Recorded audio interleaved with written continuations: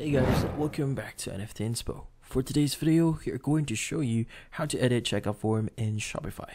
So if you're interested, let's start our tutorial. So to edit your checkout form in Shopify, what we need to do first is we need to access our account.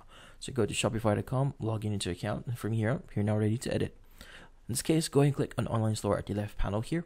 And under themes, you want to click on the button that says customize.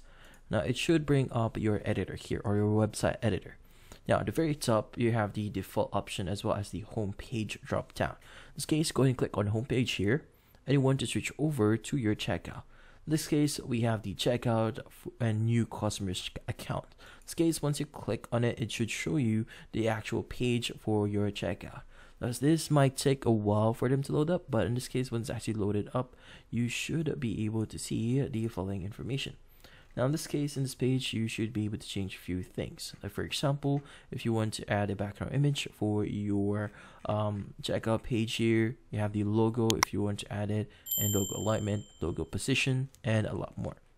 So the thing here is the checkout page here is kinda uh, limited. So the things that you could change here are actually quite limited.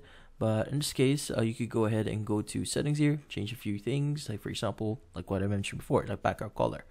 If you go to sections here, you have the customizing this app block is not available for this page. Customize branding, you need to go to your settings. So you only have the settings option here.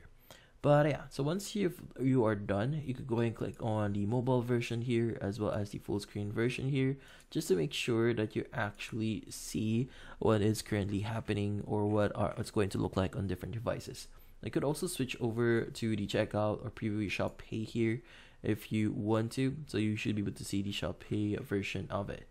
You could go and switch over to edit checkout as well. But once you're done, you go you could go and click on save at the top right and you should be good. And that's about it. So hopefully this video was able to help you. Like and subscribe to NFT Inspo. Thank you for watching.